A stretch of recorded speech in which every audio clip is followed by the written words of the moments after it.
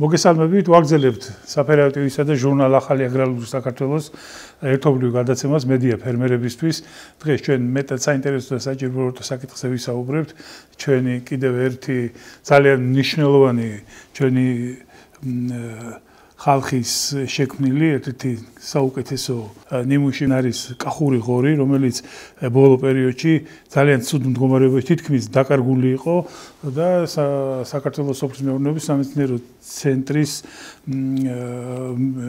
ცენტრი შექმნილმა ჯგუფმა საკმაოდ დიდ სამუშაო ჩაატარა, რომ მოძიებულიყო გარკვეული ინდივიდები და შექმნილიყო კოლტი გარკვეული რაოდენობით, რომელიც გამრავლება შეიძლება და რაზედაც როგორც ირკვევა დიდი მოთხოვნილება არა მარტო საქართველოსში, არამედ რამდენადაც მე ვიცი ევროპიდანაც და ამას ექცევა დიდი ყურადღება. დღეს ჩვენი სტუმარია აი სწორედ სოფლის მეურნეობის სამეცნიერო კვლევითი ცენტრის მთავარი სპეციალისტი, ბიოლოგიის მეცნიერების დოქტორი, პროფესორი ბატონი როლანდ მიჩიტაშვილი, რომელიც უკვე 10 წლეულებია მუშაობს აი ამ განხრით და მან საუკეთესო კათალინე კარგად იცის ამ მდგომარეობა.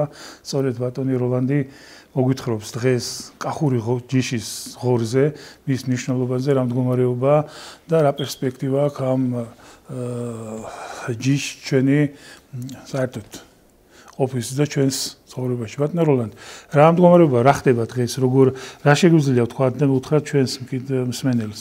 აა დღევანდელი მდგომარეობით ცოტა უკეთეს სიტუაციაში გადავედით, იმიტომ რომ ჯერ კიდევ 2007 წელს, როდესაც საქართველოსი ფოთიდან შემოვიდა აფრიკული ცხელების ინფექცია, ღორების ყველა ჯიში და მათ შორის გარეული ღორებიც კი გაწყობა. მასიური გაწყვეტა იყო 2007 წელს 2007 წელს შემოვიდა და მრავალი წლის მანძილზე გრძელდებოდა. დიახ. და ასეთი მასიური სიტუაცია დღეს მართალი არ არის, მაგრამ ლოკალური შემთხვევები ალაგ-ალაგ დღესაც შეინიშნება ამ აფრიკული ცხელების. ეს ისეთი ვირუსული დაავადება, რომელიც აფრიკული გარეული ღორიდან მომდინარეობს, რომელიც თვითონ არავადდება და ავრცელებს ამ ვირუსს, თუმცა სხვა გარეული ღორები სხვა კონტინენტებზე და ყველა ჯიში მათ შორის ღორი ჯიშები რომელიც სოფლიოში დღეს 1000-მდე ითვლება ღორის სხვადასხვა ჯიში ყველა ავადება ესენი და დღეს ფაქტიურად სოფლიო პრობლემაა. აი მაგალითად ჩინეთში რომელიც ღორის ხორცის გარეშე ამ ხელ ამდენ ხალხს ძალიან ძნელად თუ რამე გამოყვებავს და იქ თითქმის 40% გაწყდა აი ამ დაავადებით. თუმცა ერთი საინტერესო ცნობა გვაქვს უკვე ესპანელებიდან, რომელთანაც ჩვენ უკვე ვისაუბრებ, გვაქვს ჩვენ ურთიერთთანამშრომლობის მემორანდუმი და ესპანელებმა მეცნიერებმა რომელთანაც ხვებიც გაერთიანდნენ, მათ შორის რუსებიც და უკვე შექმნეს ეს ვაქცინა. თუმცა ვაქცინა ჯერჯერობით არის მხოლოდ ასეთი ლაბორატორიული პირობებში დამზადებული, რომელიც ახლა ამჟამად რამოდენიმე ქვეყანაში გადის გამოცდას, საწარმოო გამოცდები თუ წარმატებით დამთავრდება, ჩვენი ესპანელი კოლეგები გვიდებიან, რომ საქართველოში ის ძალიან მალე იქნება შემოტანილი. და აი შემდეგ უკვე ის რისკები მოიხსნება, რაც ღორის მოშენებასთან არის დაკავშირებული. რაც შეეხება კახურ ღორს, ალბათ საინტერესო იქნება, რომ პირველ რიგში ვიცოდეთ მისი წარმოშობა რა ორია ეს რა თვისებები გააჩნია და საქართველოს სოფლის მეურნეობაში და ეკონომიკის განვითარებაში რა როლი შეიძლება შეიტანოს ამ ხორმა. მინდა გითხრათ რომ კახური ღორი იმ 1000 ჯიშ შორის რომელიც სოფლიოშია გავრცელებული მე არა მაქვს სხვა ინფორმაცია არის ერთადერთი წარმომადგენელი რომელიც მიღებული არის გარეული ევროპული გარეული ღორის ზუსკროფა ფერუს და ზუსკროფა ატილა ეს არის კავკასიური პოპულაცია ჩვენ ჩვენი გალეული ღოლის მისი პირდაპირი მოშინაურების შედეგად არის მიღებული სხვა ჯიშებთან შეჯვარების გარეშე. ასეთი ჯიში სხვა ქვეყნებში არ არსებობს. თუმცა გარეულმა ღორმა ბევრ სხვა ჯიშზე გავლენა იქონია სისხლის დართვის მეთოდები იქნა გამოყენებული და გარეული ღორის სისხლი დართული იქნა რომ უფრო გამძლეობა და კონსტიტუცია ამაღლებული იყო, გამაგრებული იყო ამ ჯიშების და თუმცა სუბ დახალასად ასეთი ჯიში ჩვენთან არ არ არსად არ არის. ну ეს რა პრივილეგიას აძლევს ამ ჯიშს? მინდა მოგახსენოთ რომ საქართველოში თავარი კავკასიონის სამხრეთ კალთებზე ძალიან დიდი რაოდენობით არის მილიონ გექტარზე მეტი არის ناقოფის მომცემი ტყეები. სადაც პრიორიტეტულად ჭარბობს მუხა, წიფელი, წაბლი, პანტა, მაჟალო, კუნელი და ასე შემდეგ, რომელსაც მხოლოდ კახურიღური იყენებს. ვინაიდან მას თავისი გარეული წინაპრის მსგავსად აქვს ჯოგური ინსტინქტი და მისი მართვა ძალიან ადვილია ტყეში. ისინი ერთმანეთს არ ცილდებიან ამ ჯოგური ინსტინქტის გამო და შეიძლება წემსიც არ იყოს დილით გარეკოტრეში და საღამოთი თავისით მოდიან ისინი. აი სხვა ვერც ერთი ჯიში ამას ვერ აკეთებს, ისე დაიბნევიან რომ საღამოთი არც ერთი არ მოვასწრებს. და ეს რა ისტორია რამდენი ხნის აქვს? ანუ ისტორია ძალიან ძველი ღორია, ეს უძველესი ღორი. სად არის გავრცელებული ზირითადად ეს? ზირითადად გავრცელებული არის თავარი კავკასიონის სამხრეთ კალთებზე დაწყებული ლაგოდეხიდან, ლაგოდეხის რაიონი, მოუყვებით ყვარელი, თელავი, ახმეტა, თიანეთი, დუშეთი და თავარ კავკასიონზე, სადაც ეს ტყეებია, ну დასავლეთ საქართველოსში უფრო შერეული ტყეებია, იქ ბევრი წიწოვანია და წიწოვანი ტყეების ნაყოფებს არ იძლევიან და ამიტომ არ არის არ არის, მაგრამ აი მაგალითად სვანეთში სვანური ღორი იყო, რომელსაც დაახლოებით იგივენაირი წარმოშობა აქვს, თუმცა დღეს ჩვენ დღესაც ვეძებთ ეს ღორი ჩვენ სამეცნიერო შრომებში გვაქვს ასეთი პროგრამა ჩადებული, რომ უნდა მოვიძიოთ, ისიც აღვადგინოთ, ვინაიდან ეს არის გენოფონდის უნიკალური წარმომადგენელი, რომელსაც, რომელ ჯიშსაც მომდევნო წლებში სხვა ახალი ჯიშების გამოსაყვანად შეიძლება გამოვიყენოთ ეს ჯიშები. იმიტომ რომ ძალიან მაგარი კონსტიტუცია აქვს, ძალიან გამძლენი არიან და ექსტრემალურ პირობებში საკმაოდ კარგად გრძნობენ თავს. და ეს კახურიღორის თვითონ ისტორია გამოშენების საუკუნოვანი ისტორიები აქვს, მრავალ საუკუნოვანი ისტორიები აქვს. აი კახურღორზე მე მაგალითად ის კი არა ლიტერატურული წყაროები რომ მოგიყვანოთ. ჩვენ წიგნიც გამოვაქვეყნეთ და ამ წიგნში სულ რაღაც 2-3 თვის უკან გამოქვეყნდა ეს წიგნი. რომელიც მხოლოდ ამ ჯიშს არის მიძღვნილი და მათ შორის სვანური ღორიც ჩავრთეთ ჩვენ იქ რა მასალებიც მქონდა მე პირადად მოპოვებული სვანურ ღორზე. ბევრი რამე მქონდა შესწავლილი. ფოტომასალაცა საკმაოდ კი კი ფოტომასალა დართული აქვს მე რა თქვენ ეს გამოიყენეთ იმაში. ჩვენ შეგვიძლია ვაჩვენოთ კითხეს თუ ჩანს ეს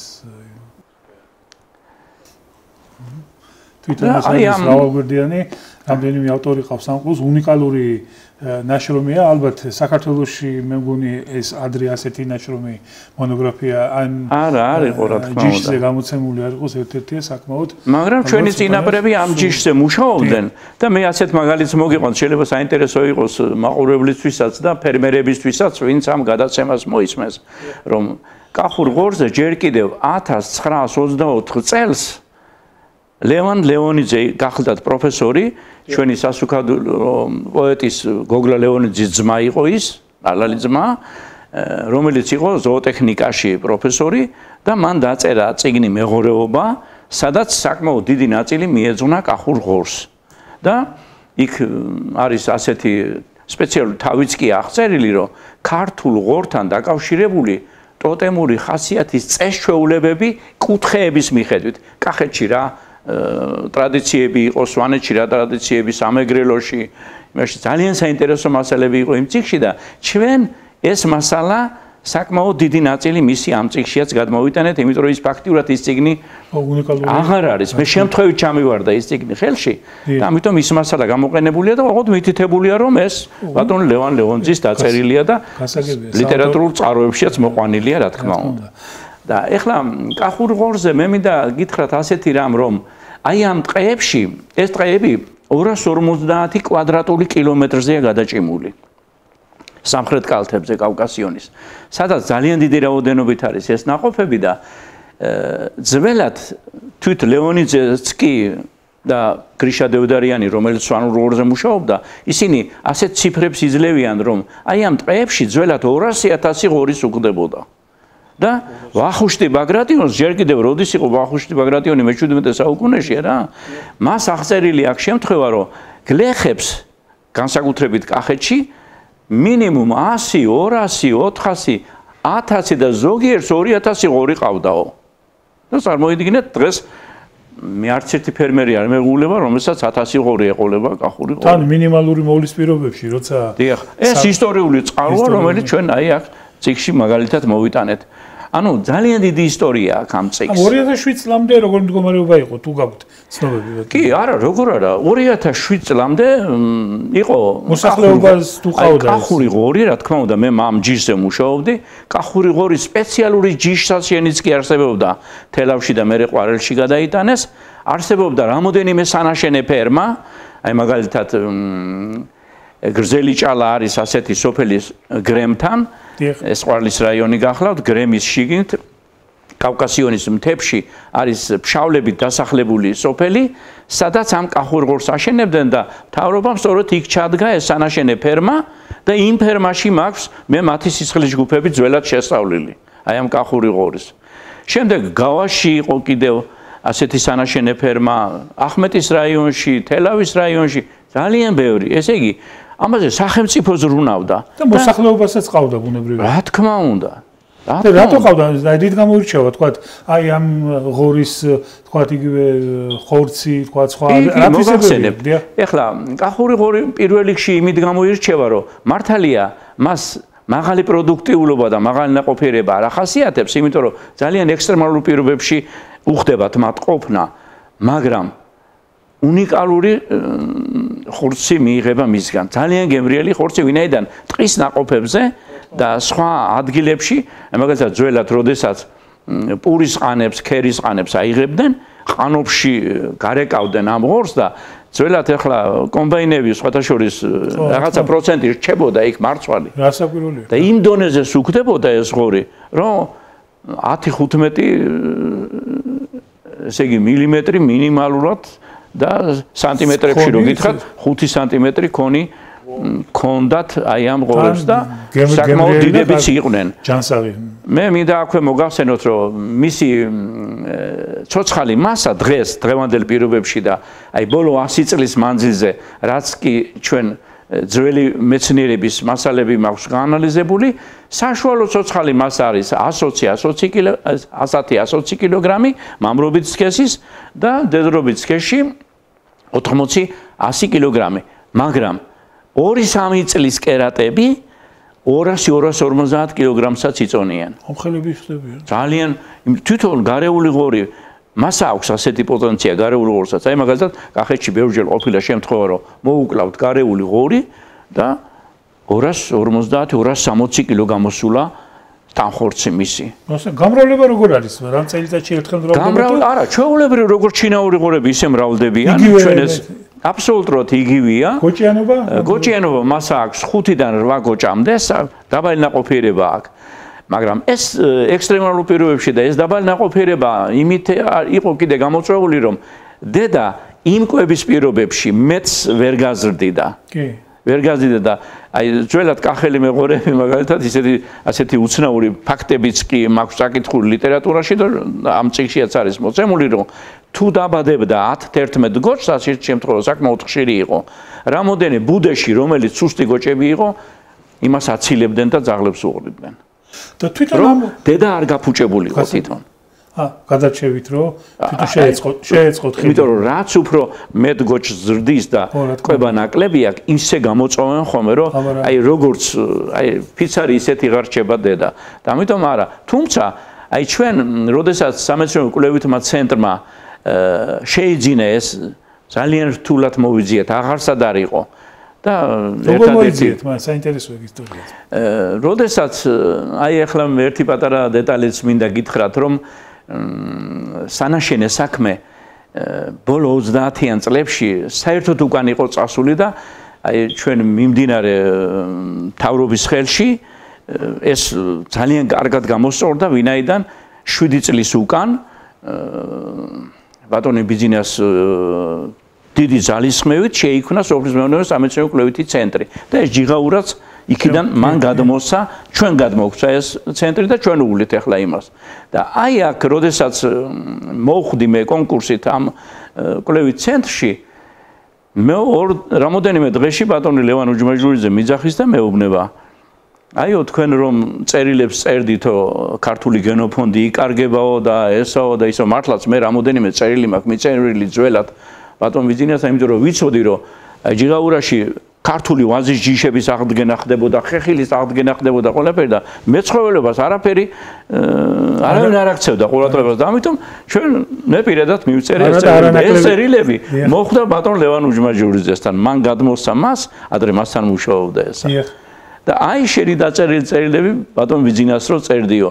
აი მოხველი ახლა აქ სამუშაოთო და დაჯექი და კახურურზე იმუშავეო და ისე კარგად მახსოვს ეს დღე და მართლაც აი დიდი მისია მისი დამსახურება ძალიან დიდია ბატონი ლევანის რომ აი კახურ ღორზე ყველანაირი ხელშეწყობა მქონდა.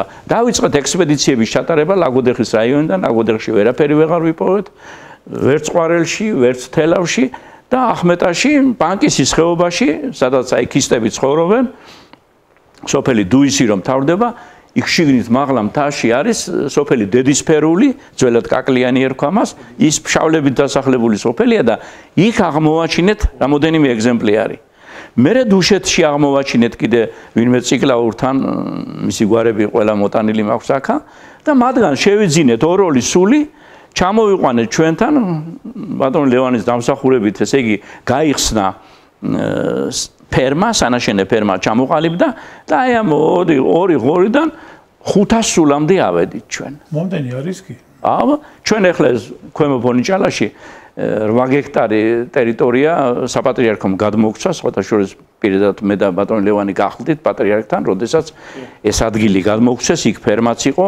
მისი რეკონსტრუქცია დაინტერესებულია. ყველაფერი აქ არის სპეციალური თავია მიზღული ამ საქმეებთან, რასაც მე ახლა გელაპარაკებით. და აი ჩვენ შევძელით ეს ყველაფერი, თუმცა ახლა ცოტა ბიუჯეტი ჭირს და ამიტომ მეც ვეღარ ვამრავლებ. თუმცა აი ესპანელებთან ალბათ მე მოგვიწევს ამ თემაზე. მე მაინტერესებს. აი ამ ღორის, თქვა თანაცხოვრება გარეულ ცხოველებთან, აი ველურ ბუნებაში. როგორ ახერხებენ ესენი? აი რა ხდება? ეხლა ძალიან კარგი კითხვა. დიდი მადლობა ამ კითხვისათვის. კახურ ღორს აი ახასიათებს ეგრეთ წოდებული თავისი წინაპრის ყველა თვისება. გარებული ღორის ყველა თვისება აქ მას. უბრალოდ გაკულტურებულია ის. და დომესტიკაციის ნიშნები რა თქმა უნდა ეტყობა, მაგრამ ფენოტიპურად რო დააყენოთ, მე მახსოვს სოფლის მეურნეობის ministris მოადგილე ბატონი იური ნოზაძე სპეციალურად ჩამ მოვიდა ჩვენთან ბაზაზე რომ ენახა კახური ღორები აბა ჩვენ როგორ მოვამრავლეთ რაღაცა და რო დაინახა ეს ღორები რა მე მომიბრუნდა და მეუნება ბატონ როლანდო ეს არის კახური ღორი ეს ხო გარეული ღორიაო და გარეული ღორი მე ვთხარი ზუსტად გარეულიდან არის მოშინაური ეს მისი მისი შთამომავალია მეთქი და ეს ყველაფერი აღწერილია აქ და ამიტომ აი ამ სიტუაციას ძალიან დიდი ანგარიში გაეწია რა თქმა უნდა და ჩვენ მოახერხეთ ამ ჯიშის აღდგენა. ესე იგი ეს უნკლავდება მგელს სხვა და ძალიან მაგრამ ესე იგი აი დიდები, როდესაც კოლტი მიდის ტყეში, ეხლა როგორც გარეული ღორი. ხო, აი როგორც გარეული ღორი, თუმცა იქ მწყემსი მასთან ერთად ცხოვრობს, სუბუქი ტიპის ფარდულს აკეთებს იქ ტყეში და მასთან ერთად ცხოვრობს და დილი თვითონ წავლენ იბალახებენ, შეჭამენ ამას და უკან მოდიან. იმიტომ რომ ერთ მუჭა რაღაც საჭმელს აძლევენ ახლა რომ მიიჩვენ და მაინც მიიჩვენ, მაგრამ ზოგჯერ ისე ხდება რომ გარეულ ღორთან შეჯვარება ხდება. თავისუფლად ჯვარდება გარეულ ღორთან და მე აღწერილი მაქვს წიგში კიდე ასეთი შემთხვევა რომ мама რომელ ღორსაც გარეული ღორი ყავდა мама ისეთი კერატი ჩვენ გამოვიყენეთ სელექციაში. ანუ მიდიოდა ეს ჩვენი ორები იქ ჯვარდებოდა და ზოგჯერ უკან აღარ ბრუნდებოდა. და ძველად მას კახეთში გადაზვავებას უძახოდნენ აი წავიდა და გადაზვავდაო აღარ მოვიდა უკანო. და ასეთი რაღაცა ჩვევია ამას. და თუმცა ისიც ჩვევია როგორც გარეულ ღორს. ესე იგი რომ მოუახლოვდება მოგების პროცესი სამი დღით ადრე თუ ის ჩაკეტილი არ აკავს კარგად. მიდის კოლტიდან დაიკარგება საწავა ვერავინ ვერ გაიგებს სადღაც შამბნარში აი ისეთ მიუვალ ადგილზე ბუჩქებში ფოთლებისაგან აკეთებს ბუდეს და ზუსტად იცის ხორმა რა ვიცი როგორ იცის ეს სიტუაცია და მესამე დღეს მოიგებს იქ და გოჭებს რო ცოტა მოაჩიტებს და დაახლოებით 10 დღის შემდეგ თავის გოჭებიანად პატრონთან მოდის. ეს მისი გარეული თვისებაა, გარეული ხორცასია. აი არიკარებს არავის. აი თვით მომლელსაც არიკარებს გახური ღორი რო მოიგებს არა, აი მომლელიც კი ძალიან მთხილად შედის მასთან რომ რაიმე არ დაგიშაოს და ეშვები აქვს და ამიტომ ის არის. ვადნორლან. აი ამ ეკონომიკური მნიშვნელობა სამეურნეო ამ ღორის დღეს რამდენად შეიძლება? თქვა გამოვიყენოთ ჩვენი ფერმერი შინამეურნეობებისთვის. იმდან დიახ, სწორედ მაკედან არის სიტუაცია რომ აი მე როგორც გითხარით ეს ტყეები დღეს ფაქტიურად უქმათ არის გამოუყენებელია. გამოუყენებელია. ეხლა წამლი კი მართალია მიდის გლეხობა აგროებს ბაზარში წიდიან, მაგრამ ეს 10%-იც არ არის გამოყენებული. მაგრამ სხვა ჯიშები მე როგორც მოგახსენეთ არა ამას ვერ იყენებენ ჯოგური ინსტინქტის არქონის გამო და სხვა სახეობის ცხოველები ხო ლაპარაკი ზედმეტია ძროხა ვერ იყენებს ამას და წვარი და ხო მზანეთ რომ 200000 სული 200000 სულის გასუქების პოტენცია აქვს იმ ტყეებს და ამ ღორის თვითონ ხორცის ფასი ბუნებრივია მაღალია. ხორცის ფასი მაღალია ეხლა. აი მე მინდა სწორედ ამას დავაკავშირო ეხლა ესპანელების ჩამოსვლა სხვათა შორის ესპანელები ჩვენ მასთან როდესაც ეს კვლევითი ცენტრი შეიქმნა მეორე წელიწადს გამოჩნდნენ უკვე და მოვიდნენ ჩვენთან რომ ჩვენ გვაინტერესებს კახური ღორებიო. საიდან გაიგეს მაგათ ეს კახური? ჰამონის დამზადებაზეა? დიახ დიახ დიახ. საიდან გაიგეს? და მე ხო კახურ ღორზე მთელი ცხოვრება მუშაობდი და მე სოფლიოს ძალიან ბევრ ქვეყანაში მქონდა შრომები გამოქვეყნებული კახურ ყორზე და ის შრომების რაღაცა ნაწილი წაიკითხეს იმათა რომ ნახეს რომ ასეთი გარეული ყორო თვითონ მათ ყავთ ეგრეთ წოდებული იბერიკო ჯიში. იბერიკო კი. მასთან ამ ყორთან ჩვენ ვიყავით წასული მიგვიწვიეს ესპანელებმა მე და ბატონო ლევანი ეგეც ქართულია მგონი არ არის კახური მაგრამ როგორ არის? ქართულია მე იბერიკო ყორის სისხლი აქვს დართული კი. და მისი ხორცი ძალიან გემრიელია, თუმცა დღეს რო შეხედოთ იბერიკოს, არა, ну ის ასეთი ჩამოყრილი ყურებით და სხვა ჯიშების გავლენა აშკარად ეთყობა, მაგრამ გარეული ღორის სისხლი აქვს.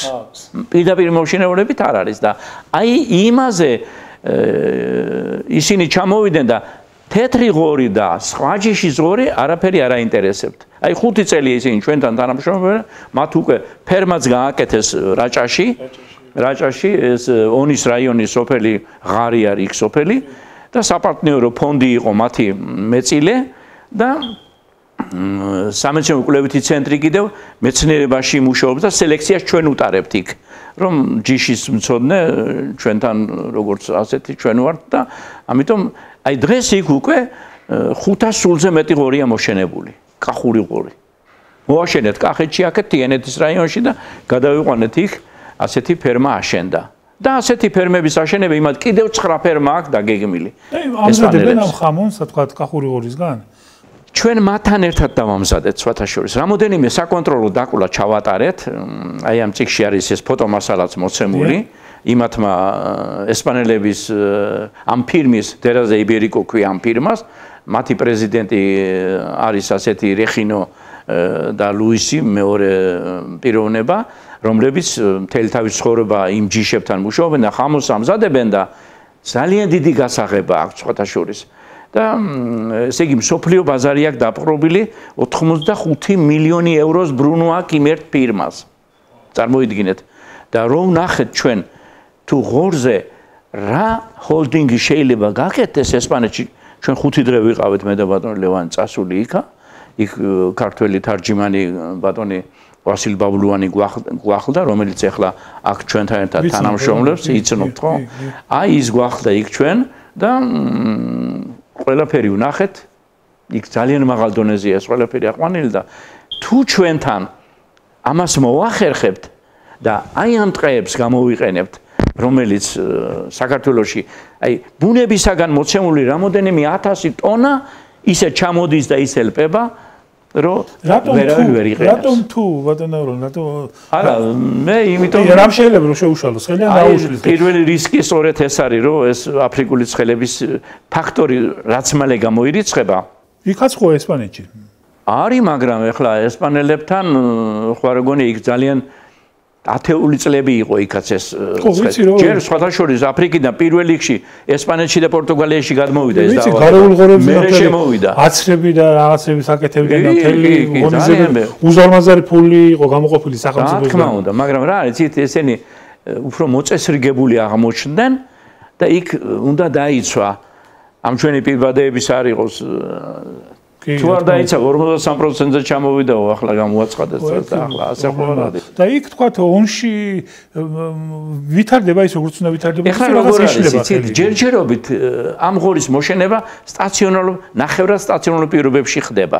ისეთი ფერმა აშენდა რომელიც აი ნახევრად სტაციონარია და ვოლიერებში ცხოვრობენ და მოგებამდე და მე როდესაც ვაქცინა იქნება და აიცრებიან, უკვე ტყეში გავლენ. იქ გარშემო სულ ტყეებია იქ, იმპერმის გარშემო. ახაც სადაც გინდა ზემო. ძალიან ბევრია, აი გეუნებით, აუთვისებელია. ეხლა კახელები და ფშავლები და ეს მთის ხალხი დღესაც არანებებს ამ ღორს თავს. მიუხედავად იმისა, რომ ზოგს 100 ღორი მოუკვდა, ზოგს 200 ღორი მაგრამ მაინც ახალდან აშენებენ, იმიტომ რომ ეს იყო ოჯახური ტრადიციები იყო და ეს ოჯახური ფერმერული მეურნეობები სწორედ ამ ღორზე უნდა განვითარდეს იმ ზონებში, sadაც რა თქმა უნდა ეს ტყეები გვაქვს. აი, უზარმაზარი კაცო. უზარმაზარი ადგილებია. და წარმოიდგინეთ ჩვენ აი მე თქვენ შეკითხვას ასე დავამთავრებდი, რომ ეკონომიკური სიტუაცია მე დირექტორის დავალებით გამოვთვალეთ ჩვენ და იმ პირობებში რომ რა პირობებშია სტრესი შეიძლება იყოს და ცოტაოდენი დანახარჯები ჩვენ დავახარჯოთ გლეხებმა შეიძლება მიიღონ 35 მილიონი ლარის სუფთა მოგება. აი ხარჯებიც რო გამოვაკელით და რაღაცა. 35 მილიონი? 35 მილიონი ლარის სუფთა მოგება შეიძლება მიიღოს გლეხებმა აი განსაკუთრებით იმ ზონაში, სადაც ნუ ეს ძირითადად კახეთისა და მცხეთამთიანეთის ზონაა ძირითადად. დასავლეთ საქართველოში ახლა ბევრმა დაიწყო კახური ღურის გაყვანა, სადაც წყეებია. იგივე აი თქვათი ესპანელებთან თანამშრომლობით არ არის შესაძლებელი, რომ ჩვენმა მოსახლეობამ იგივე აი ჩვენმა ფერმერულმა მეურნეობამ საოჯახო გლეხებმა გაზარდონ ეს ღორი და იყოს ამის აი როგორ არა სხვადასხვა მათ პირობებში აი აქ არის ამ წიგში ეს პროგრამა ჩადებული. მათ მოცემული აქვს ასეთი პროგრამა, რომ თვითონაც ამრავლებენ. მაგრამ აი მათი პროგრამა ითვალისწინებს რომ ასხლეტამდე გააზრდიან და შემდეგ სურველ გლეხებს ვისაც აქვს ოჯახური გამოცდილება რომ მომთაბარე მეღორეობა აწარმოოს აძლევენ ამ ღორებს ისინი ტყეში გაზრდიან და დაკვლის კონდიციამდე დეკემბერში ხდება ამეების დაკლა და იბარებენ ჩაიბარებენ საკმაოდ მაღალ ფასში და თვითონ მათ იმეებსაც ჩაიბარებენ. მაგრამ აი ხო გეუბნებით ახლა ჯერ კიდევ არ არის ეს ვირუსი დაწყნარებული და ლოკალურად ზოგჯერ აი წელი არ გავა ისე რომ რამოდენიმე ადგილზე კიდე არ გაჩნდეს ეს დაავადება და ამიტომ ხალხს ეშინია აი თავისუფლად ვერ აშენებენ როგორც კი ეს ვაქცინა გაჩნდება მით უმეტეს ვაქცინა ცოტა რთული ბუნების აღმოჩნდა მეცნიერულად რომ ვთქვათ საერთოდ ვირუსი ერთზაფიანი სტრუქტურით ხასიათდება და ამ RNM შემცველი ვირუსებია ზოგადად, მაგრამ ამ შემთხვევაში აფრიკული ცხელების ვირუსი ორძაფიანი DNM სტრუქტურით ხასიათდება და ეს ორძაფიანი სტრუქტურა აღმოჩნდა, რომ კლასიკური ვაქცინის დამზადების ტექნოლოგიას არ ექვემდებარება და ვერ დაამზადეს ეს ვაქცინა, თუმცა აი დღეს უკვე გვაქვს ცნობა, რომ ვაქცინა დამზადებულია და თუ ეს საწარმოო გამოცდები რამოდენიმე ქვეყანაში წარმატებით ჩაივლის, ალბათ